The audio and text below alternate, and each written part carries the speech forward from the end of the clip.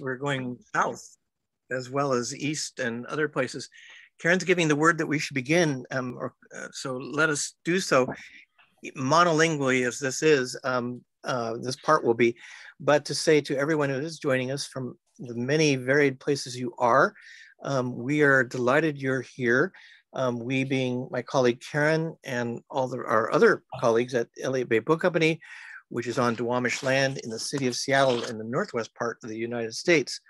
Um, also with us here in Seattle, um, who will be part of this program, we're delighted, is um, University of Washington professor Richard Watts. We'll say more about him in just a moment, but occasioning this evening, um, and occasioning, um, this is an occasion way because this really is an effort of joint effort of several uh, groups and organizations to have Sandra Smith, who's one of our most renowned and esteemed translators, literary translators at work today.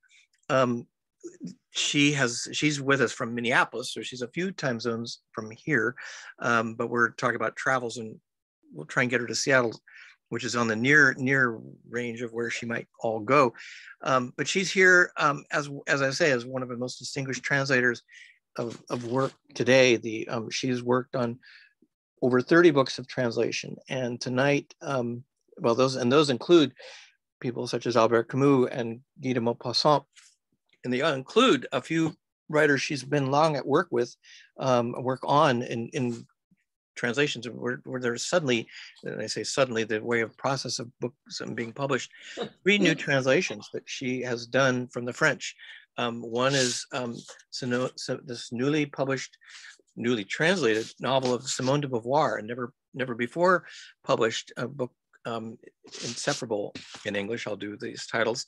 And then um, also coming just out, um, she's probably most been most known for having translated all the novels of Irene Nemirovsky, um, including the, the one that sort of really broke things wide open, Suite Francaise, but other others along the way since, including uh, we have a filmmaker here who's working on a film of one of these, but The Prodigal Child has just um, uh, come out, and and I believe it's the twelfth book that um, Sandra has translated of of um, Irene Nemirovsky, and um, she's while she's quite known for translating these writers who are no longer alive, she actually also just translated a major figure in French uh, media and culture, uh, Anne Sinclair, uh, this memoir um, or this book called In the Shadows of Paris, which um, I believe it's, it's a book that looks at her uh, looks at the Nazi concentration camp um, that was part of Paris's past. Um, Anne Sinclair has been most known there as in, in France as a major television um, program host, but she's also a figure in cultural politics there. So tonight you'll hear Sandra um, read from and talk about each of these books. And I think, and then the questions that um, Rich Watts will bring to it will both address these books, but also venture into other work she's translated in the nature of translation itself, um, which is a very live subject. Um, as for all of us, um, Rich um, has talked about, we've talked about some of the other Francophone writers we've been fortunate to present at Elliott Bay over the years, including um, writers from the areas that are his particular um, address or interest uh, as at the University of Washington, working on um, writers and literature and culture in the post-colonial areas of Francophone work. Um, he is the author of, of, of, an earlier book called Packaging uh, Post-Coloniality and is at work on another book called um, uh, Water Narratives, Imagining Global Environmental Change in the Francophone Post-Colonial World. That's um, in, in work and in progress.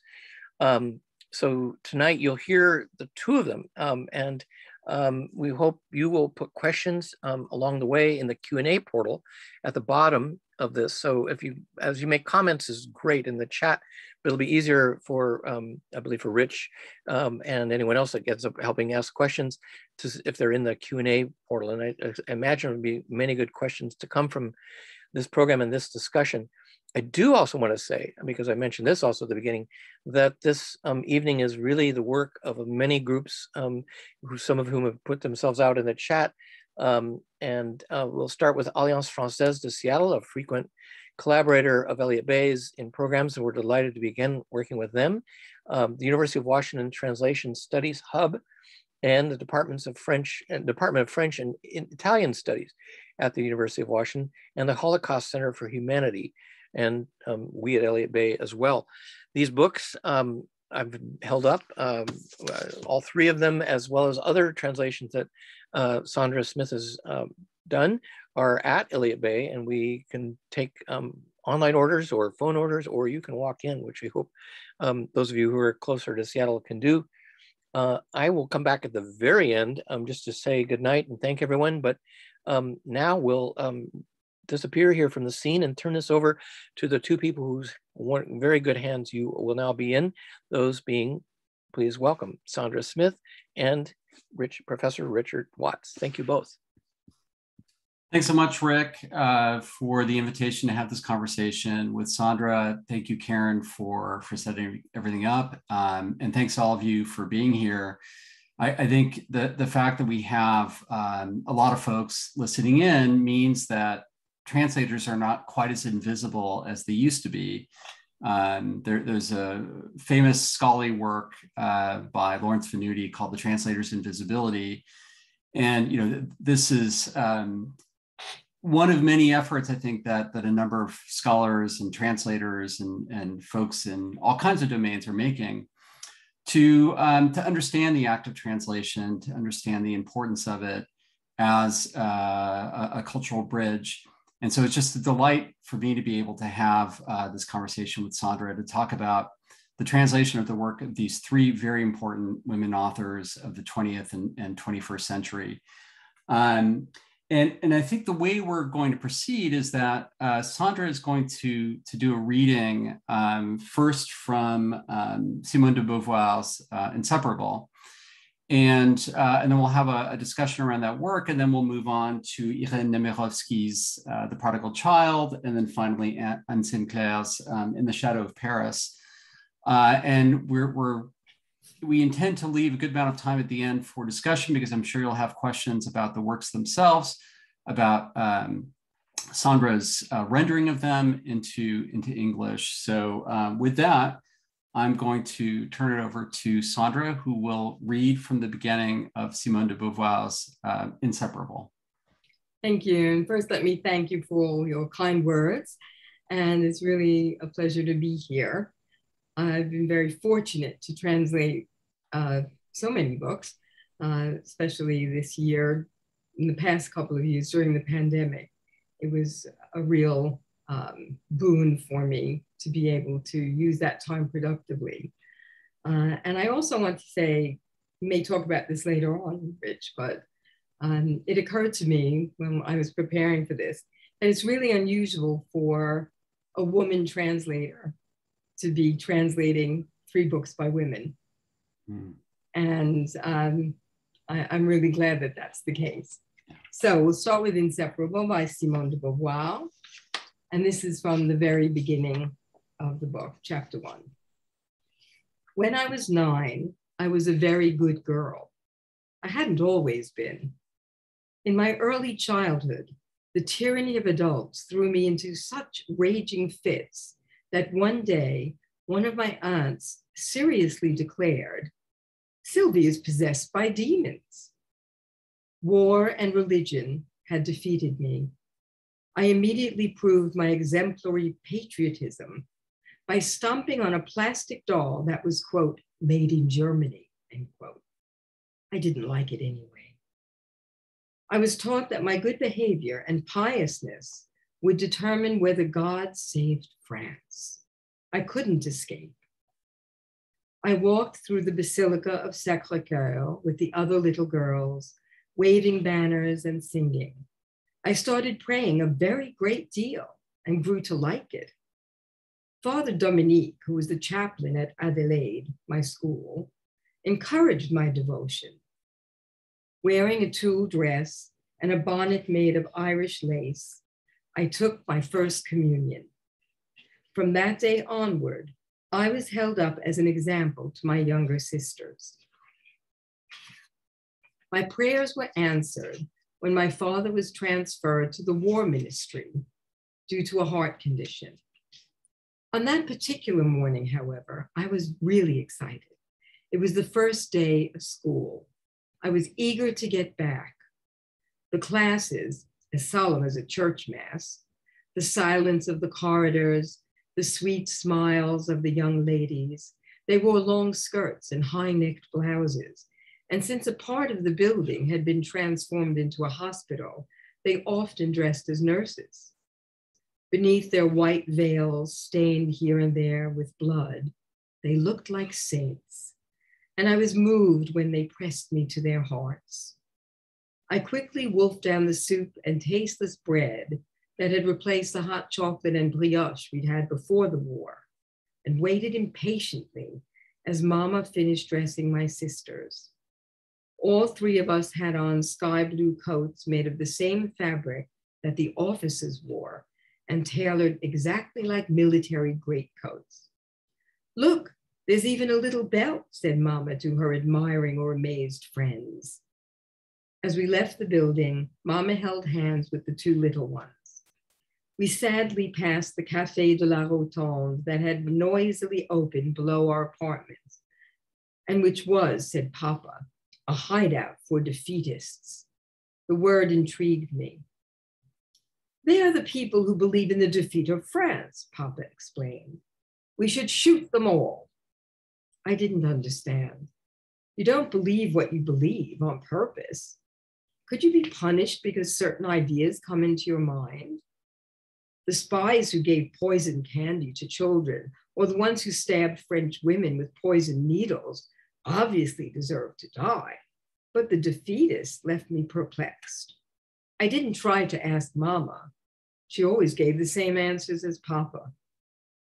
My little sisters did not walk quickly. The gates of the Luxembourg Garden seemed to go on forever. Finally, I got to school, climbing up the stairs and happily swinging my school bag full of new books. I recognized the faint odor of sick patients mixed in with the smell of floor wax in the freshly polished hallways. The supervisors hugged me. In the coat room, I saw my friends from the year before. I wasn't close with anyone in particular, but I liked the sound we made all together. I stood for a while in the large auditorium, in front of the display cases full of old dead things that managed to die a second time. Stuffed birds lost their feathers, dried plants crumbled, shells faded. The bell rang, and I went into the St. Marguerite classroom.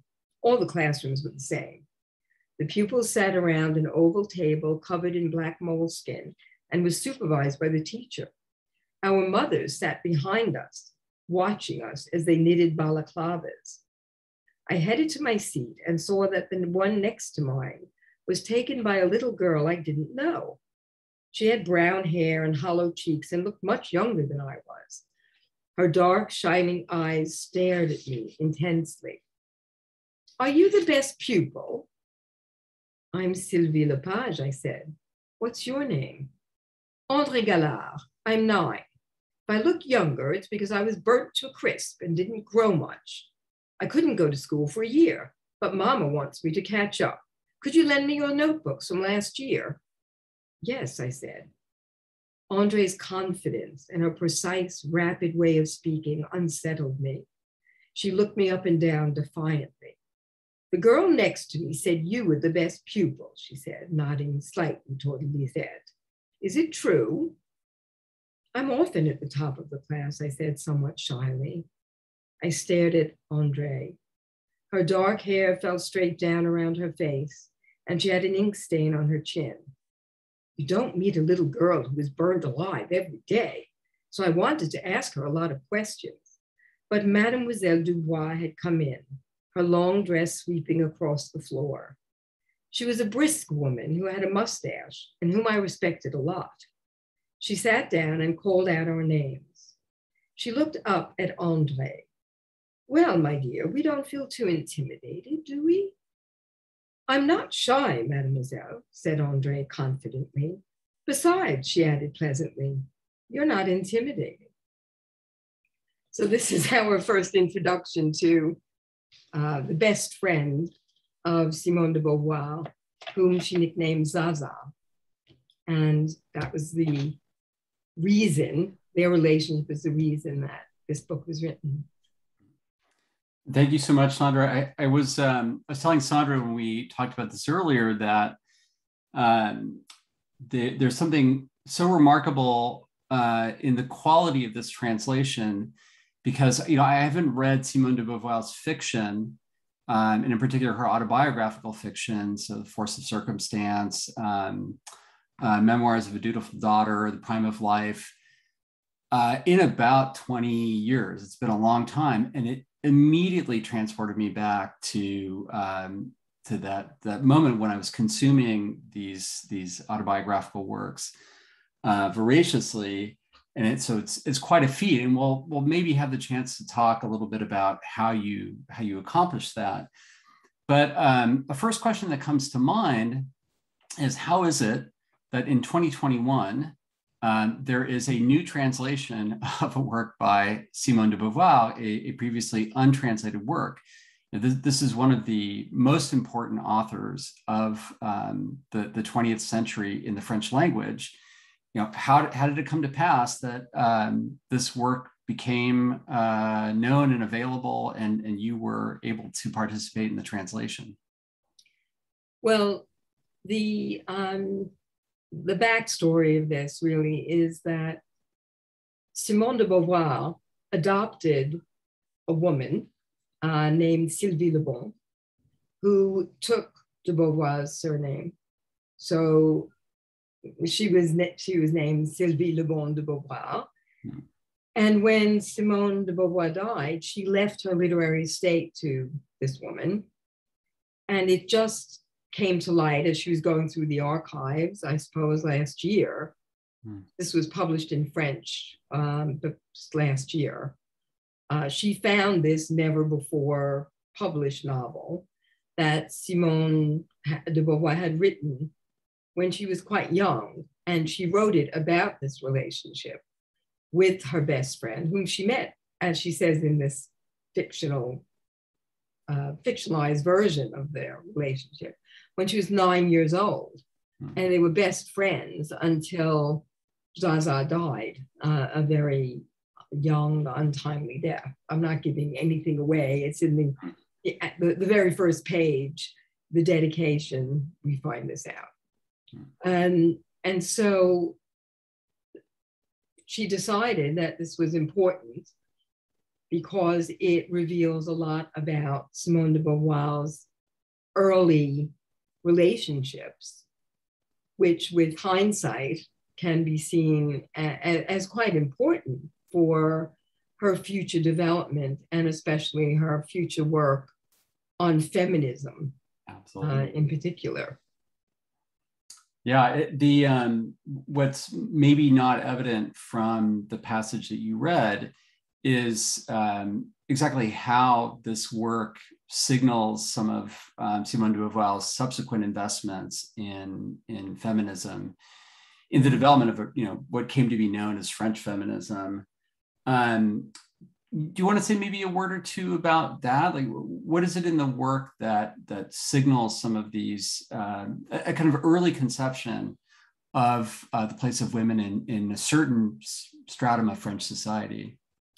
Well, the novel is set in what was then contemporary France, just just at the very end of World War One and in the post in the middle before World War Two, and both of the girls came from an extremely conservative, extremely religious Catholic uh, family, and had many many uh, conventions thrust upon them, uh, they did not have the freedom that Beauvoir wanted, uh, or any of the young women really wanted, though some of them just fell into the conventional norms very easily. I mean, one part of the novel, um, Sylvie um, and André, they're the fictional characters who were Simone and uh, Zaza, they're talking about her mother, uh, Andre's mother, says quite clearly, you know, it's either marriage or the convent. Those were the only two choices for them. And the very beginning shows you an Andre as a child mm. who's very, very confident, yeah. almost aggressively so. Mm. And the, this, the Beauvoir character, Sylvie, in the novel, is absolutely fascinated by her and loves her, absolutely desperately loves her cannot really place the, those feelings as a young child. Well, especially in that context. Especially in that context, and especially at that time. Yeah. Um, and so there's this tremendous sort of powerful pull hmm. towards each other, but which is more one sided on Simone's part and at one point, she actually says that if she imagines that if Andre dies, she would die as well. She can't imagine life without Andre. And what I found particularly interesting was the shift in the in kind of the power, but the power uh, between the two women mm. shifts very gradually throughout the novel as we progress we find that Syl- um, Sylvie, who is absolutely besotted with Andre, confesses this love for her. Mm. And it's a shock to Andre. She just hasn't realized this. And also doesn't really return it in the same way. Yeah. And when she doesn't return it, that is a turning point. Because at that point, the Sylvie character has to accept hmm. that this is not an even mutual you know kind of feeling and so she starts becoming much more independent she still loves uh, andre as, as, a friend and respects her hugely as a an intellectual and their relationship really progresses at, at a certain point you see that Sylvie is the stronger character and actually has more freedom mm. than is you expect at the beginning of the novel. Yeah. But the other thing that's really interesting is I, I urge people to read the letters at the oh, yes. back of the novel, at the end of the novel, because this uh, Sylvie Le Bon de Beauvoir actually found correspondence between Simone de Beauvoir and Zaza. And in the letters, you'll you see that there is a far more mutual love. Than is portrayed in the novel, hmm. which I, I, I found very very interesting. And there's one letter that's written by Zaza to Simone when she's only 19 years old. And you read this and you think, my goodness, this woman was brilliant yeah. to write a letter like this with the insight that she has at the age of 19. It was really, really remarkable. Yeah, you, you capture very nicely um, there the, the sort of um, this kind of coming into feminist consciousness that, that I think Beauvoir is trying to convey um, in this in this short novel. Um, one of the one of the things that's striking um, and that I learned only in reading the the preface and the afterword in the um, in the this edition is that in fact um, there, there's a very particular reason why this work wasn't published earlier as such, right? And would you? I, I think it's worth talking about that. Would you say why that is, Sandra? Sartre didn't like it he felt it was, you know, irrelevant. And well, Sartre felt that anything that wasn't directly related to politics or philosophy was not relevant. And this was, she was quite young when she wrote this, and she was still very much under the influence of Sartre's opinion. Um, but what's interesting is that she tried, she did use quite large sections of this novel in uh, the Memoir d'une jeune fille rangée, the uh, memoirs, of a dutiful daughter. Yeah. Large sections of it appear. Um, she really was haunted by this loss Mm. She absolutely adored Zaza. And it was um, really an homage to this friend and their relationship. Yeah. But I, I, I'm really, I was really most struck by the uh, constraints. Mm. I mean, you can see why mm-hmm. he, the well, Beauvoir and other women just rebelled against these constraints. Um, there's one really amusing phrase in the novel where um, her mother, Andre's mother, tells her that she, you know, she's the same mother who says it's either marriage or the convent, says to her, "Well, you don't have to worry." Of course, the the um, marriages were chose; they were not love matches. That's no, no, no. That couldn't have, can't have that. You married whoever your parents chose for you, who was suitable. But they had this. Um, they were told that the minute that you get married, you fall in love with the person. And they used this really amusing phrase for it, which was love at first sacrament. So the minute that the priest performed the wedding, a bit of a gamble. Fell in love. Right? no problem. You fell in love. Bit, a bit of a gamble. Uh, I, I'm, I'm, I'd like to continue, and we can know, we come back on. to this um, in the in the Q and A. But yeah, we should we should move on to uh, Irene Nemirovsky's um, "The Prodigal Child." So um, here too, and I, I, think it's really instructive in this case for uh, for Sandra to do some reading because the voice is so different from de Beauvoir's and just so distinctive. So um, uh, please go ahead, Sandra. Okay, well, before I start, I just want to do um, a very quick explanation of the, um, the main character, the main protagonist's name is Ishmael Baruch. And it's actually, his name are the first two words of the novella. And just for just to remind people who may not have, uh, I don't know, been immersed in very biblical, in many biblical studies. Ishmael was the son of Abraham and his handmaiden Hagar, because Sarah, Abraham's husband, was thought she couldn't have children. And then in the Bible, in the Old Testament, Sarah does get pregnant when she's about 90, I think. It's a very odd passage, and gives birth to Isaac. And she's so jealous of Hagar and Ishmael at that point and feels that Isaac is a legitimate son that she forces Hagar and Ishmael into exile. They leave.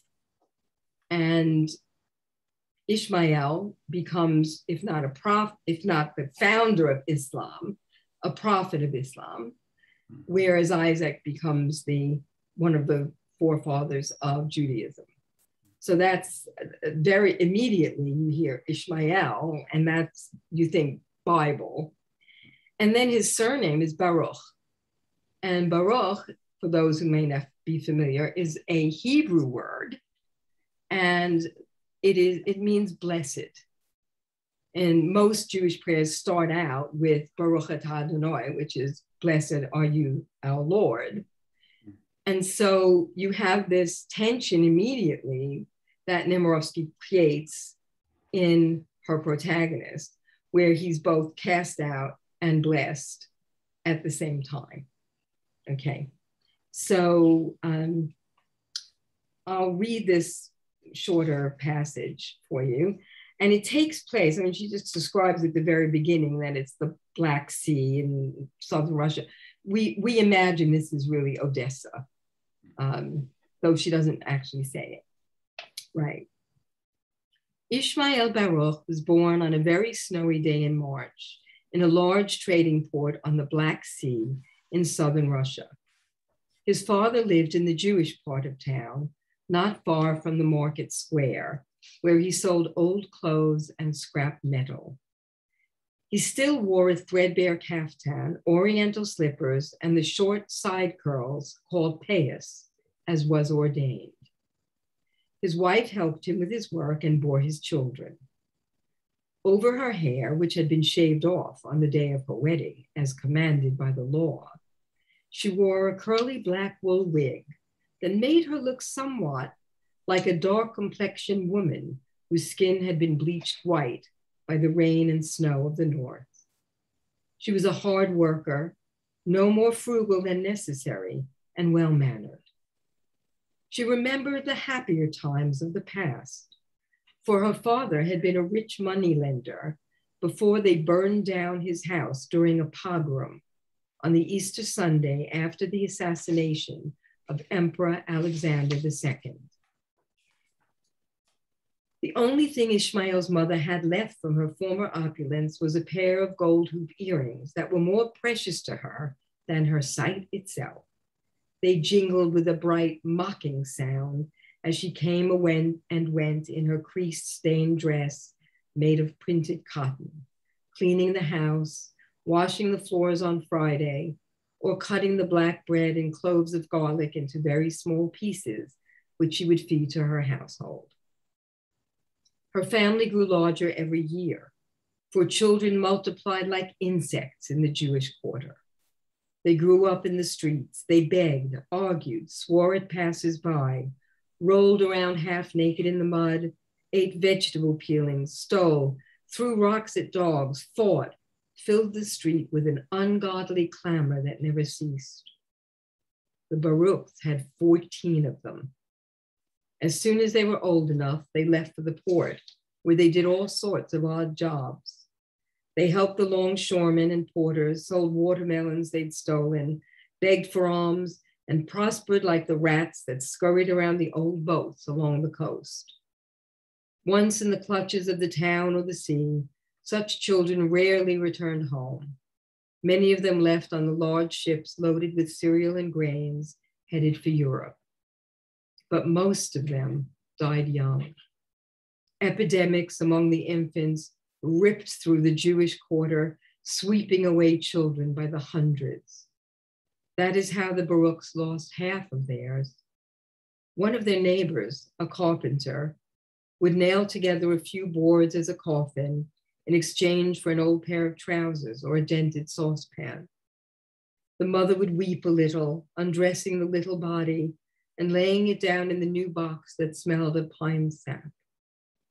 Baruch would carry it under his arm to the Jewish cemetery, a sad enclosed plot of land where graves without crosses lay close together, a place where flowers never grew.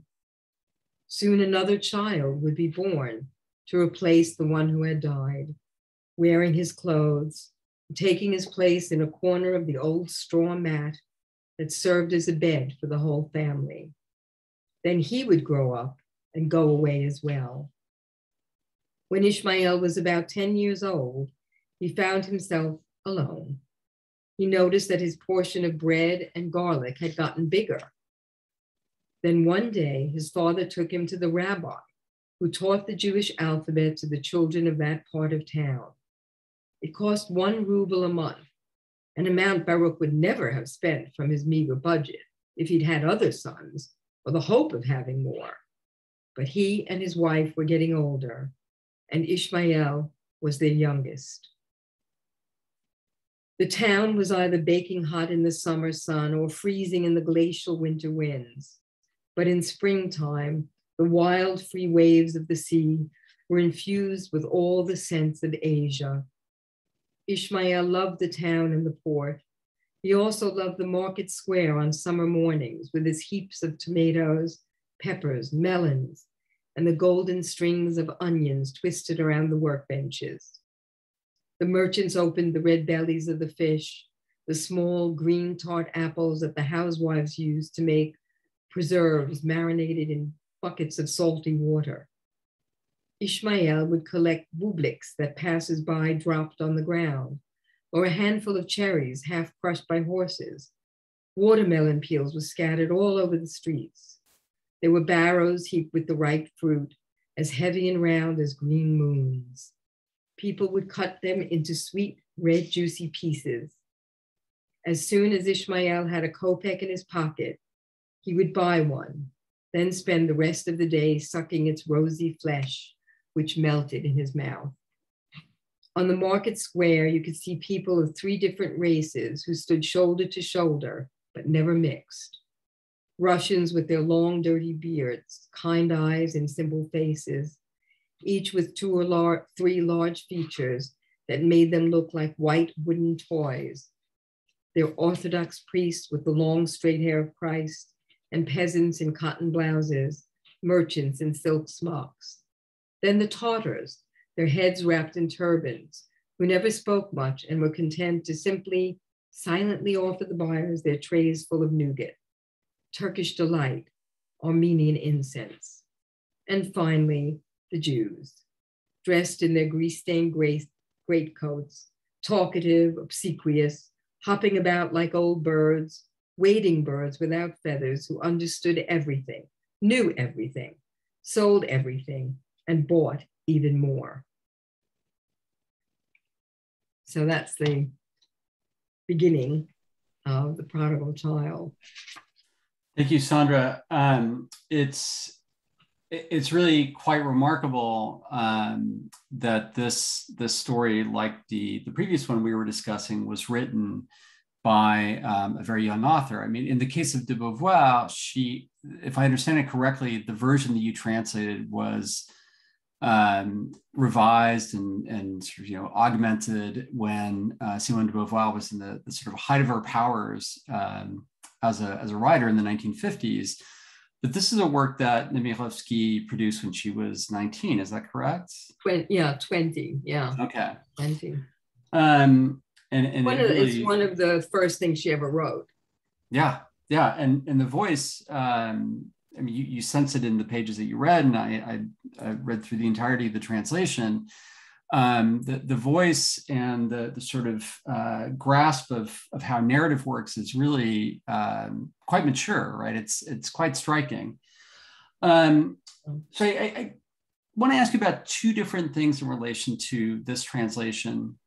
I guess maybe the, the place to start is um, how your, your experience as a translator of Nemirovsky uh, informs your work on you know each subsequent translation because this is your 12th if i'm not mistaken yeah. and you're working on a 13th uh, i mean this sort of sustained engagement with one author as a translator is pretty rare right um, and i'm just wondering how uh, how each translation perhaps builds on the previous one or, or, or how um, how your work as a translator is impacted by the fact that you've just become so intimately familiar with this author, with her work um, at various stages of its development? Well, I, I think the most interesting thing um, about working on so many Nemirovskys is that I translated the last thing she wrote first. Yeah. And that's very rare for an author for a, an audience, a readership, hmm. to read the last thing someone wrote first.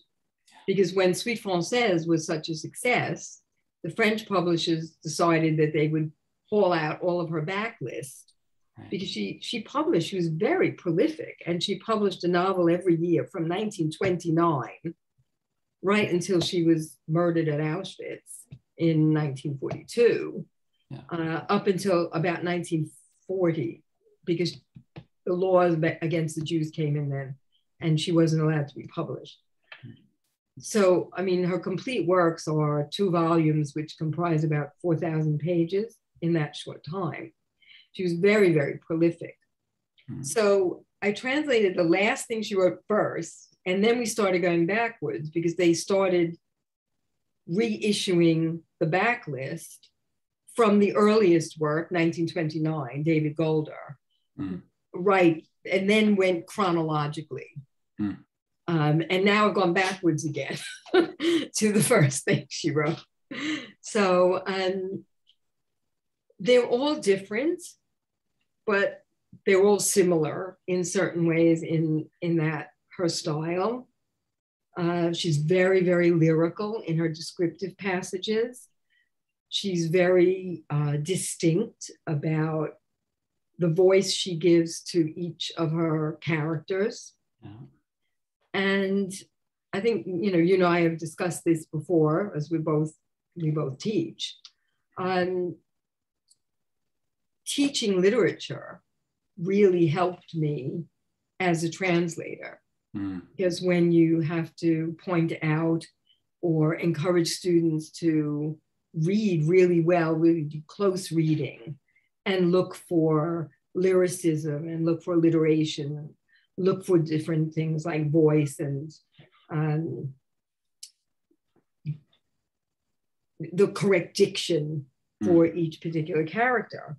It makes you aware as a translator yeah. that um, these things have to be carried into um, the language you're translating into as well. Yeah. That, you know, and that is the hardest part about translation, really, is being so familiar with the work hmm.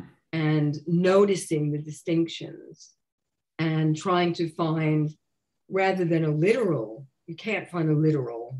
We're getting into technique now about mm-hmm. translation, mm-hmm. but it's impossible to do a good translation if you're too literal.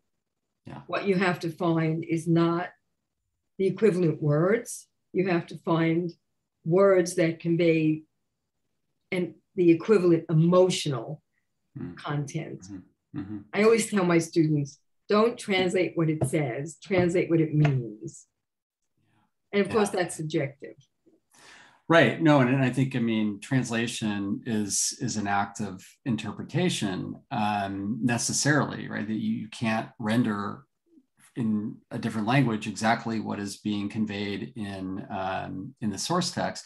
And I'm just going to go a little bit out of order here because there there's a question in the Q and A that actually speaks to the issue that you were you were just describing. Um, and and so one of our attendees asks, um, given that language evolves over time when working on a translation, how do you balance using the way of saying things as of the date the work was written versus the way things are, are said today?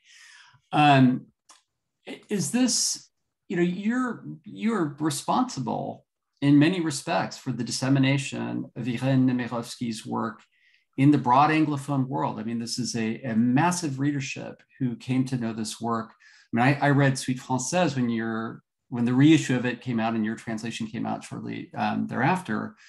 And it, it, does open up an entire world, but there are references, there are um, there are terms, right? And, and we'll talk about this in relation to Anne Sinclair that um, may not resonate at all with the contemporary readership. How do you how do you handle that? Well, um, it's a fine line you want your translation to impart a sense of the, the foreign culture hmm. without alienating the readership hmm. because it's too, they can't relate to it. Yeah. And the best example I can give really is the collection of short stories that I translated by de Maupassant.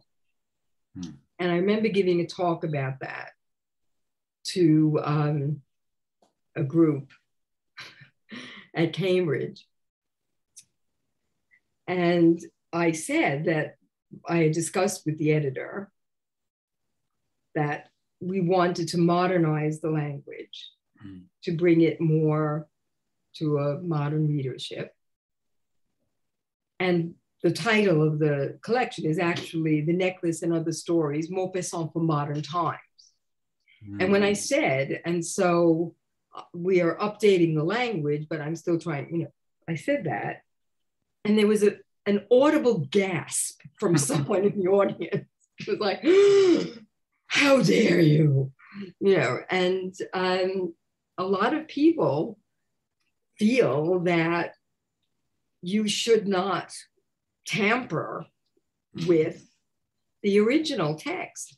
But well, translation to, is tampering no matter exactly, exactly.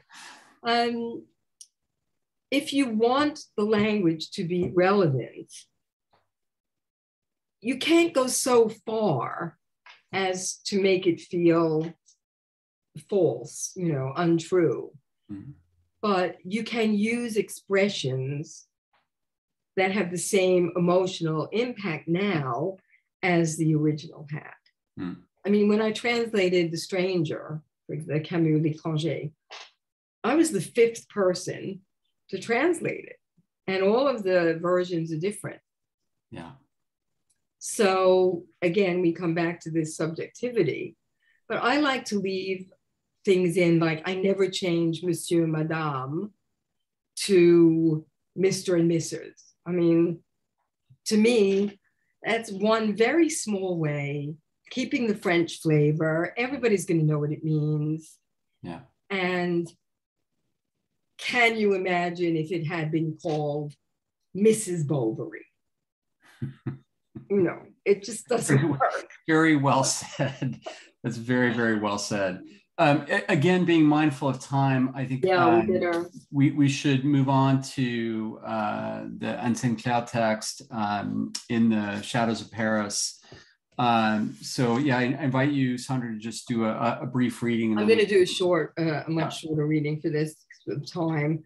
But well, also, I, I, just, just actually, to... sorry, before you do that, I just want to note um, the there's a remarkable coherence uh, across these three works that that are produced by very different writers at different moments.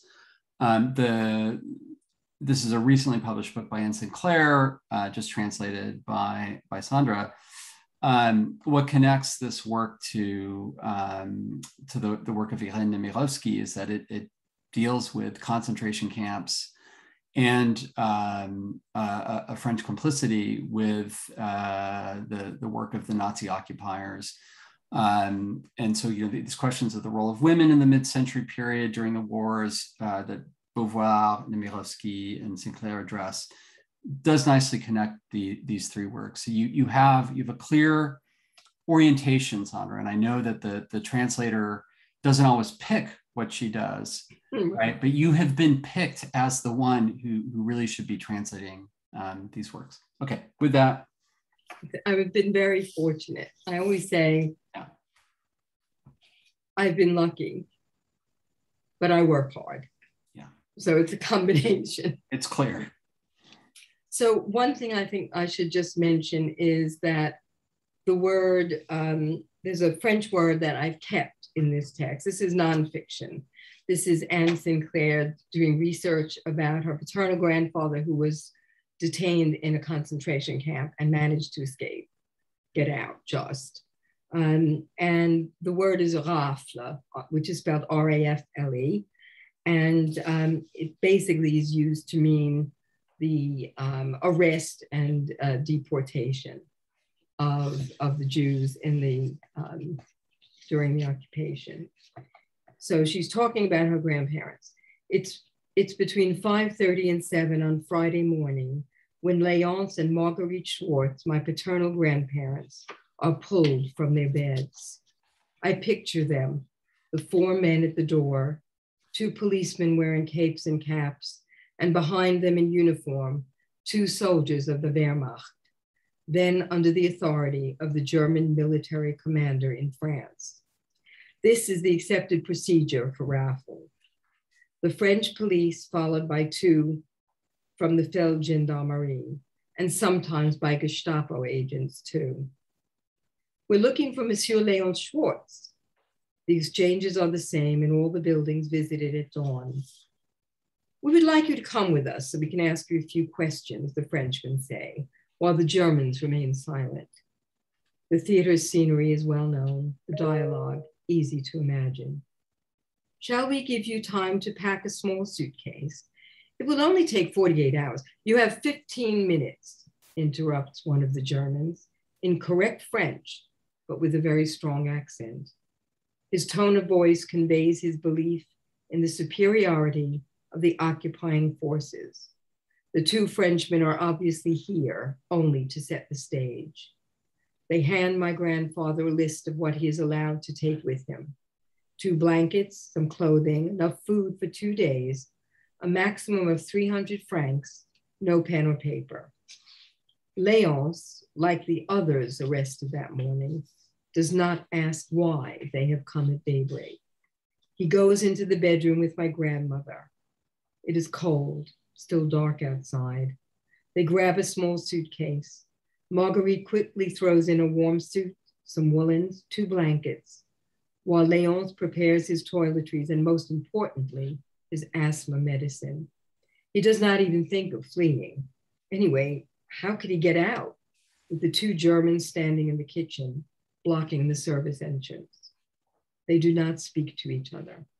Acting quickly, Leonce has no idea what to say to his wife to reassure her. Besides, there's nothing reassuring about this. A quick kiss, the same idiotic words probably said by everyone taken that morning. I'll try to get in touch as soon as I can. I can picture the indescribable smile on the face of the German who had spoken. The French police raise their caps to salute Marguerite and usher Leonce out. The Germans follow behind. The door of the building slams shut. My grandmother stands frozen to the spot. There is noise in the hallway. Apparently, Louis Engelmann, who lives on the floor above, was also taken away. She dares not open the door to look. She rushes to the telephone and calls their closest Jewish friends. They've just arrested Leonce. It's a rafle. Don't stay at home, she whispers. The filthy war has entered my grandparents' house. It is December 12th, 1941, and they do not know that the rafle of prominent Jews is just a beginning. Yes. Um, and uh, this, I, I, think that you can have had the same experience or a similar experience translating some of Nemirovsky's works. Um, but you know, in in the context of this of this um, short work of family history, popular history, and just plain history, archival history, um, you're you're really delving into some very difficult and dark uh, chapters in in French history. Um, and something I've noticed in in recent years is that there there's a lot of talk in the realm of um, especially interpreting studies, but we'll say you know translation and interpretation studies broadly around a kind of um, vicarious trauma to, to put it uh, bluntly, that that the translator might experience or the interpreter might experience. I mean, you know, think of of interpreters working day after day in uh, you know in, in, refugee camps or in courts. Um, and, and we don't often think about this in relation to the literary translator. And I know you know we're not talking strictly speaking here about a literary work, but you know work of history. Um, what was it like for you to to translate this work because you know the, the translator develops such an intimacy with the work that she's dealing with right? It's it's not a kind of casual rapport. Um, there aren't lines that you can skip over quickly or passages that are too difficult that you just sort of put them aside. You, you have to dive in all the way on every word um, in the work. Did you did you find this a, a challenging work to translate? Well, it's very emotional. And the whole reason this book is so important is because it's very emotional. Yeah. And it's about a concentration camp that most people were unaware of. So historically, it's very important. But um, yes, what you're saying is, is absolutely correct. It is traumatic having to read every word and and and try and get the same emotional impact yeah. In English. Um, it's not the first book I've done. Um, even Suite Française, the letters and the annexes at the back are very important. Hmm. I also translated an amazing book by um, Marceline Loridan-Ivens which we used as the English title, but you did not come back. Um, she was uh, deported with her father when she was 15. And he was sent to Auschwitz. She was at Birkenau, which were, they were only three kilometers apart. And this, this book is uh, a 105 page letter to her father who didn't survive. Mm. Um, just before the pandemic started, uh, literally just, it was March 9th, I was in, in London invited to speak at a translation conference on a panel, and the panel was called Translating Trauma. Hmm. And this before I had done the Sinclair book. So I was talking quite uh, a lot about the uh, Marceline book, and I met Marceline. She was amazing. Um, I, I had the privilege of meeting her when I was translating the book.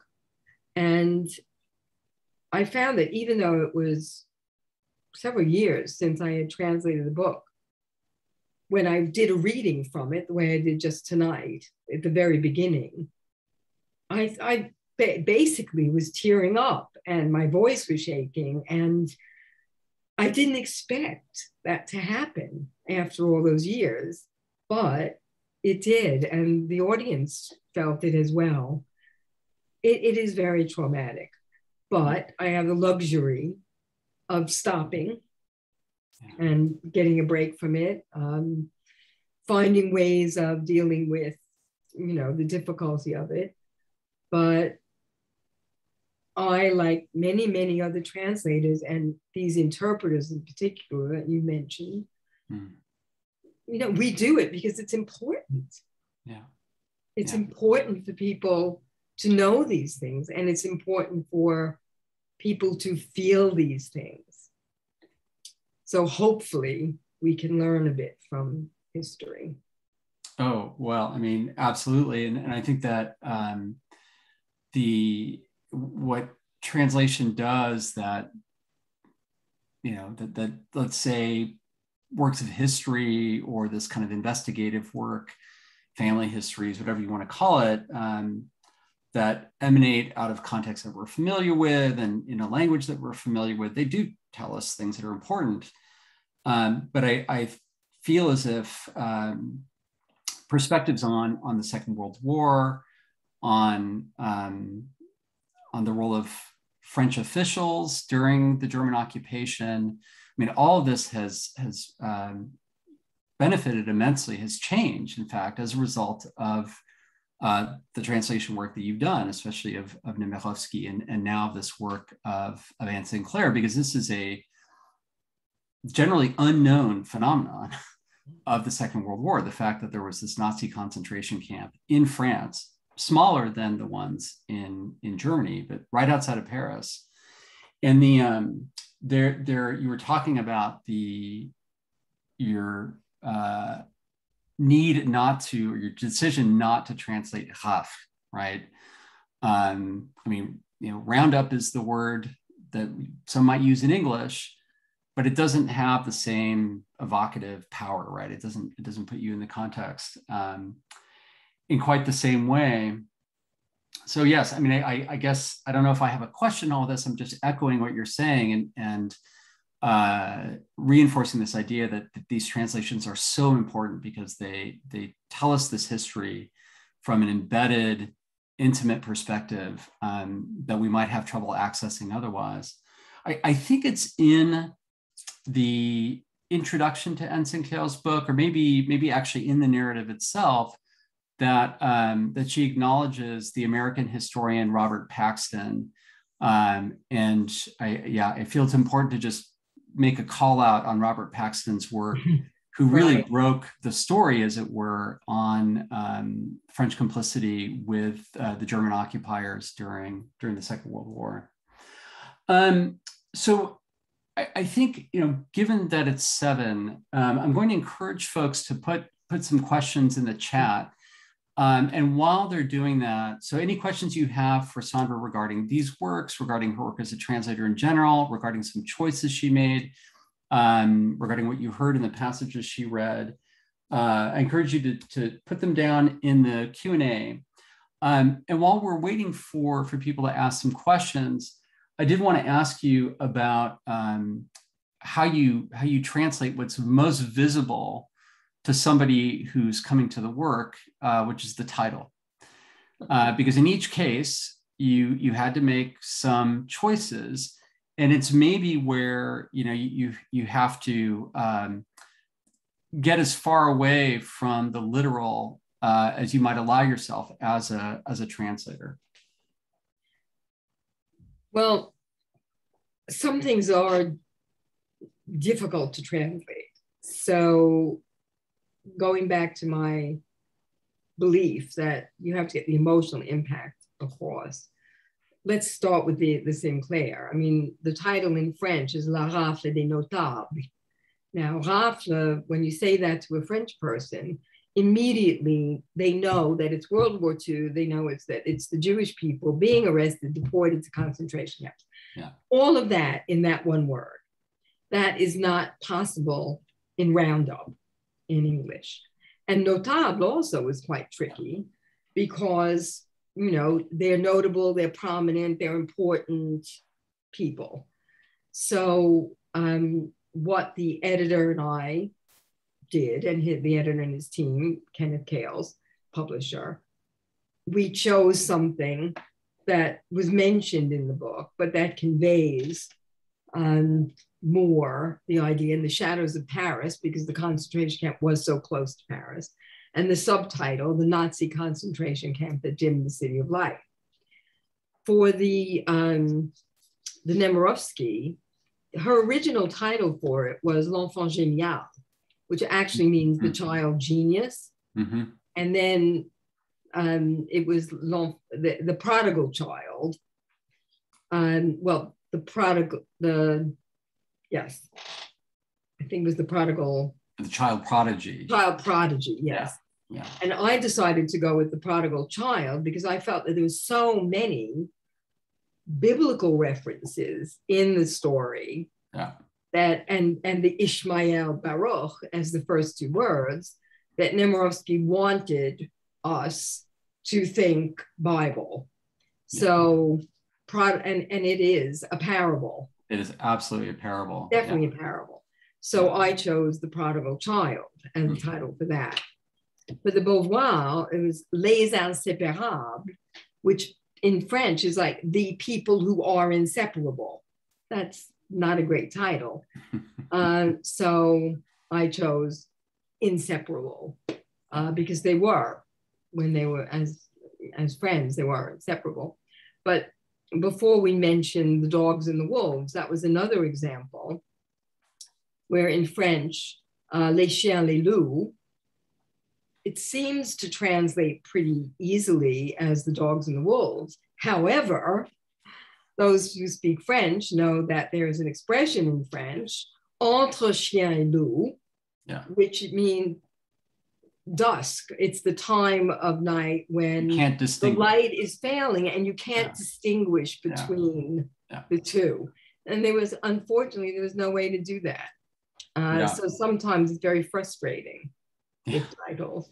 Well, I, I, just heard a, a reference yet again to uh, Truffaut's, François Truffaut's The 400 Blows, right. which is a mistranslation of Les Quatre Cents Coups, right? I mean, it's it's not literally it's a, an idiomatic expression referring to you know a trial right?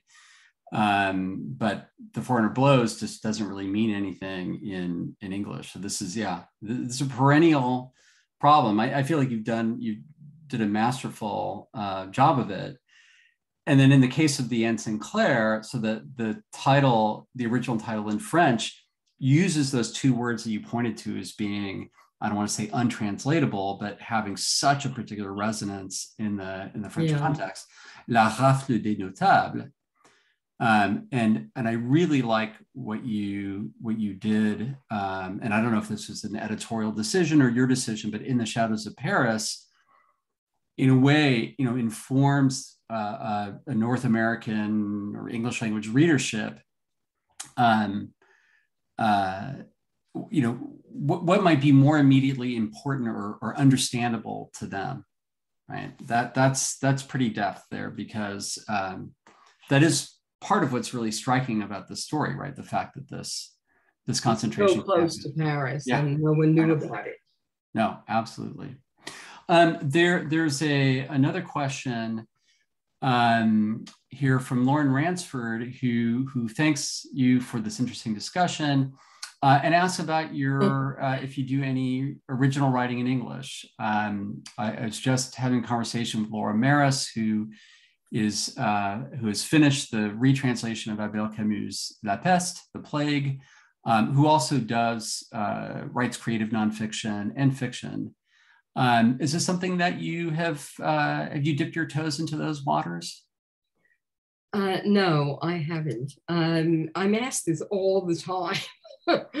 um, and encouraged by some of my friends who are here this evening watching uh, to write my own book. It, it's a completely different skill. Um, I think in order to be a good translator, you do have to be a good writer. Um, and I have written introductions to some of the books. Speaking of which, I, I have been meaning to say, the I thought that the introduction by Margaret Atwood to Inseparable was brilliant, absolutely brilliant. Um, and I, I, I, really urge everybody to read it. Uh, it's, it's very, very good, hmm. very well written. Well, but, I, I, think you're also very busy as a translator or something. so maybe, well, maybe you don't have time. Well, no, I, I think it's more um, an in, in, inclination. I'm, I'd rather translate than than write something myself. I mean, there are some, uh, quite a few translators who do write themselves and translate as well. Um, and kudos to them, but um, yeah. Um, Alexandra Dorka asks um, a, a, really important, highly pertinent question. So um, maybe even more complicated than this question of words that are that are untranslatable. Um, when reading and then you know translating trauma, how do you how do you translate the unspeakable? Right. Um, I mean, th- there there's th- these works by Sinclair, by Nemirovsky, you know, even in her own way, Beauvoir, um, they're, they're full of individual and collective suffering. Um, yeah, I mean, how, how do you how do you contend with that? I don't want to say how do you justify it, but how do you um, how do you process it? How do you work through it? You just have to do it. You know, they had to live it. Yeah, they had to live it then the least I can do is try and get that across. Hmm. And it is difficult. Yeah. It is difficult. Um, the unspeakable, I mean, that makes me think of other things.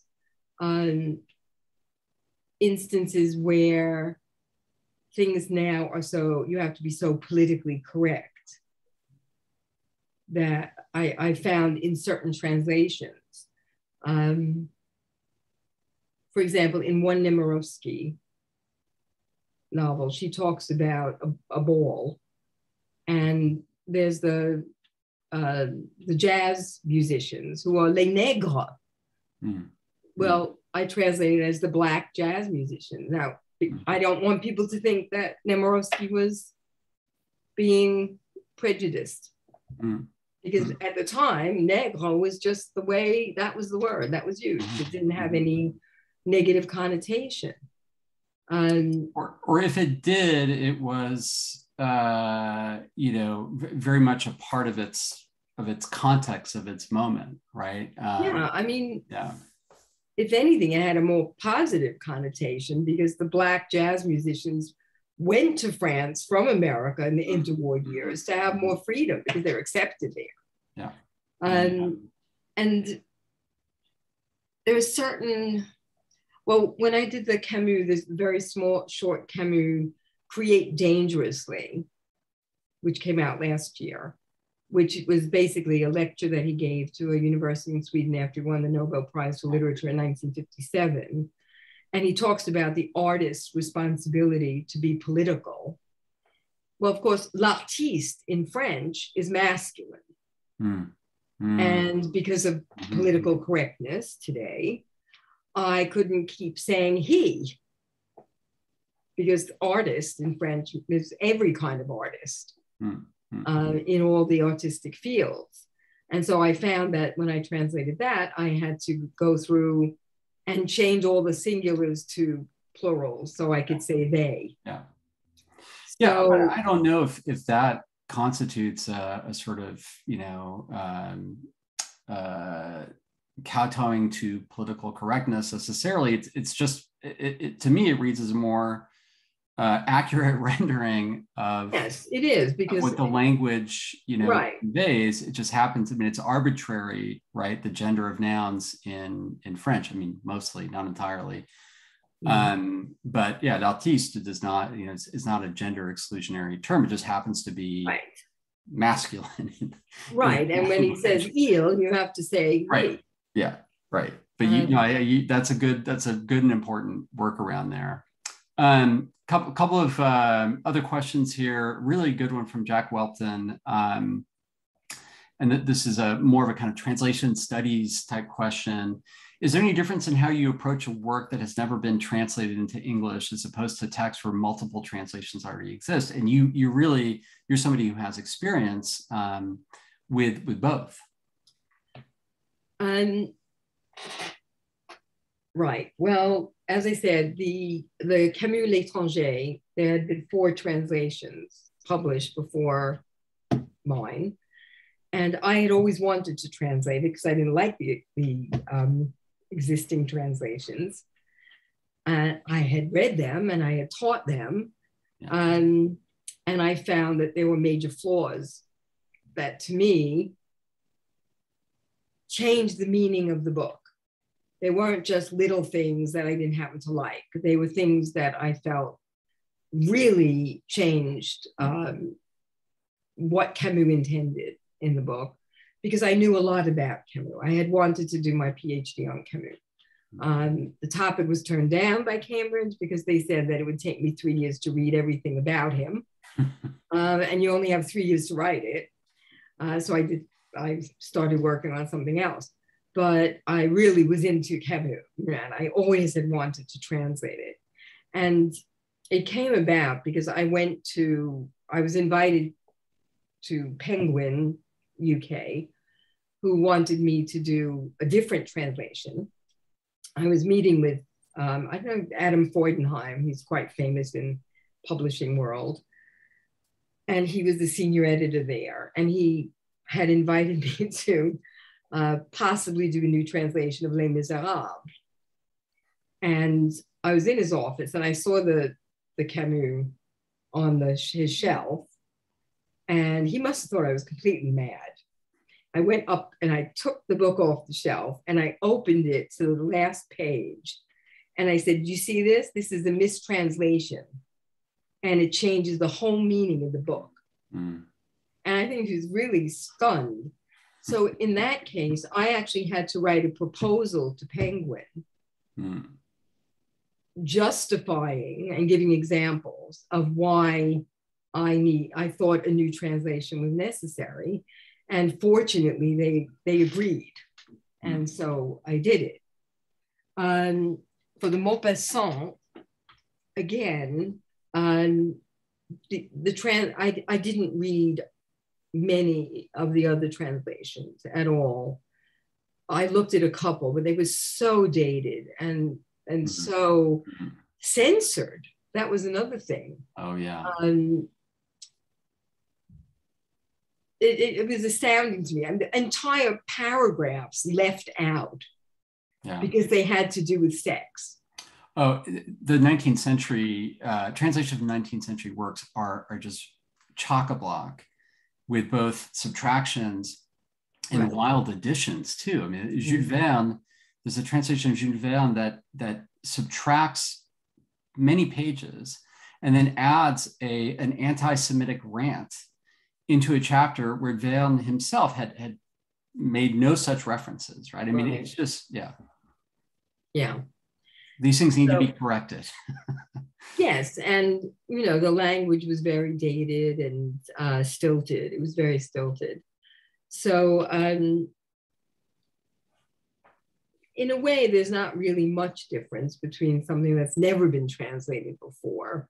I mean, the only thing is that you have this with something that has been done before and you're reach you're doing a new translation you are putting yourself in a situation where someone will compare sure and hopefully they'll like yours better but they may not yeah well you're, you're speaking you know in the idiom of your time and place and I, I, think that's that's always important i mean especially when it's an experienced translator doing doing that um, it just makes the work uh, more approachable by a contemporary readership. And you know, as as you and I both know, when you're in the classroom, right, and you're using translations, this is this is really important.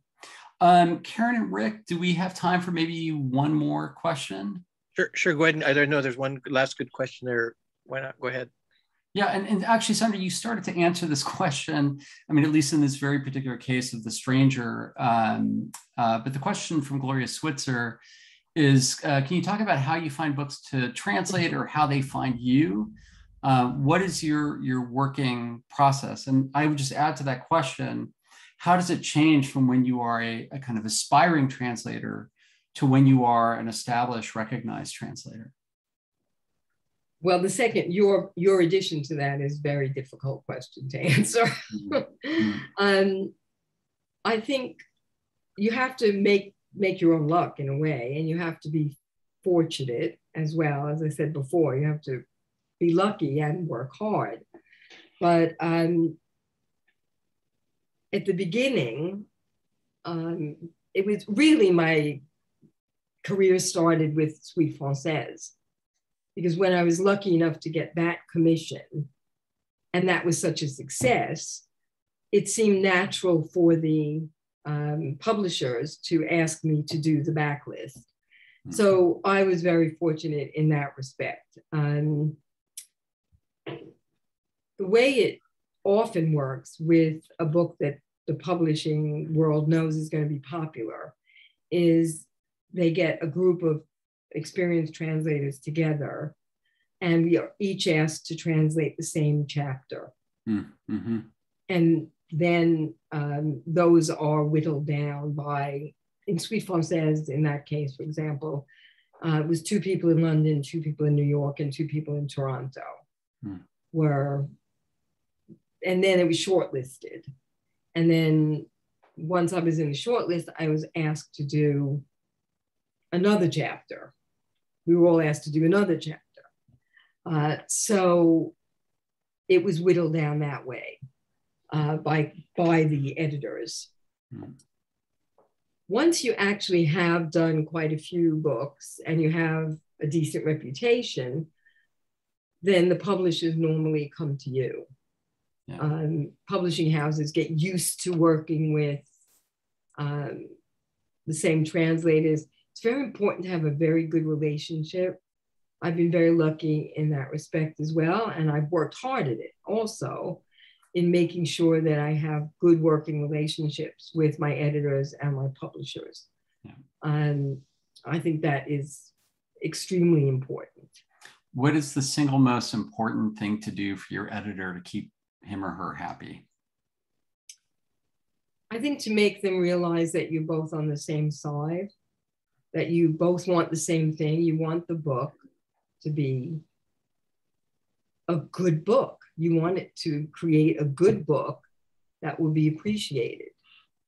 Um, for the translator from a reputation point of view or say and, and, and from the publisher obviously from a sales point of view um, I, I think that's the most important thing is a good relationship yeah which ultimately is not so different from the relationship that an author maintains with an editor, right? So this this is another way in which the translator and the author, you know, are ultimately not so different.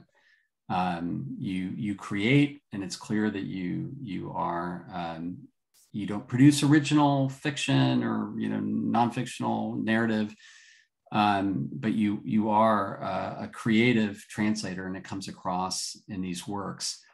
Um, so I, I'm, I'm going to now pass it back over to Rick, but I, I really enjoyed reading these and other translations of yours, Sandra. You're, you're a, um, a treasure in the oh, field. Thank you. And it's, it's really, um, it's just critical, crucial fundamentally important work that you, that you do. And it's also pleasurable, right? I, I take pleasure in reading your translations. So thanks for this opportunity to chat with you. Well, thank you. It's been great. And I'm very, very fortunate because I love my work. So they say that if you love your work, you never work a day.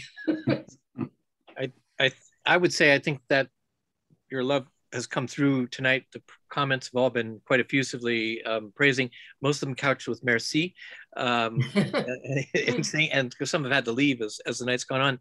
Um, but both of you, um, this has been wonderful. I, I know if we're in the same room, you know, program in Seattle um, with our, our friends um, such as uh, Alexandra Alliance France, de Française, Alliance Française, uh, there would be this part afterwards where you'd get a lot of, I think there's a lot of people interested in translation and translating, and you'd get more follow-up questions of both of you about that, mm. especially what Rich right. asked at the end about how this all happens, because I think um, to see books like this come to us and realize sometimes it's been such a journey just for the book to get here um, is important that you're so important that you're doing the work and yeah.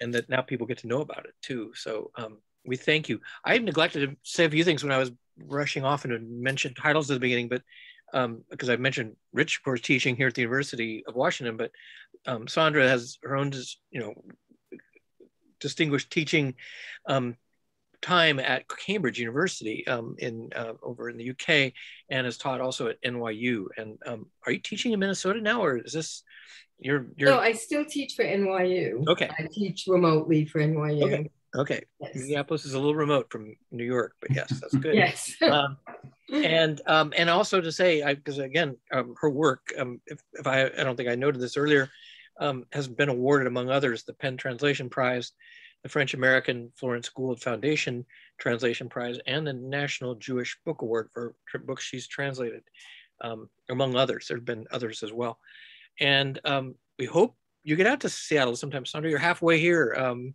uh, Minneapolis. You can do remote to NYU from Seattle too. I think um, one more time zone to work with. But um, thank you so much for this. Thank you for these each of these books that now people get to read.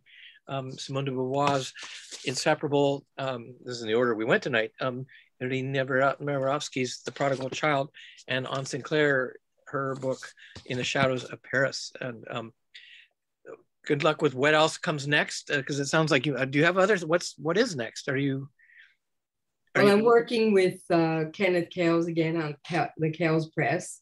Yeah. Uh, on yet another novel by nemirovsky okay. Um, which uh, is in the public domain and it's one that i had wanted to translate in the past. And the the publishers had done i think 10 or 11 by then and thought, well, you know, maybe that's enough. Um, and so now we're doing that one, but I think it's very relevant. It's coming out next year, okay, in 2022, hopefully, and it's it's called Master of Souls, and it's very relevant to. Uh, it's one of the things I love about Nemirovsky. No matter, even though she was writing when she was writing, all of her themes are so relevant now. Uh, this book is about immigration this book is about how poorly immigrants were, t- were, t- were treated oh. in France um, and how corrupt some of the French society was, up the upper classes in particular. And so it's about a doctor who, even though he's been in France for 10 years and has all his qualifications, people don't trust him because he's foreign. He looks different, he has an accent and so he's poor and he's he's he has to demean himself by performing illegal abortions and uh, it's just so relevant to today and the struggle of being an immigrant and trying to have a lead a good life and provide for his family and just face, facing prejudice at every turn until he decides that the only way to survive is to become as corrupt as the um, the French people. I think you've already got people wanting to read this book now. Everyone's yeah, like, it's fant- I think it's a fantastic book. So yeah, I don't think it's even listed yet that we could. Yeah, I don't next think it's year.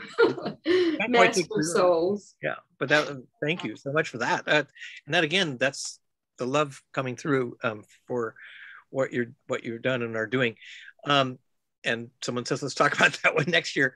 Um, and so thank you to both of you. Thank you uh, very much to our co-presenters. Um, Alexandra has been putting good words in um, both questions, but also about the good work that Alliance Française de Seattle does, uh, the University of Washington Translation Studies Hub, and the Department of French and Italian Studies, and the Holocaust Center for Humanity. Um, we thank you all for your part in tonight. And um, we again thank everyone else who's attended.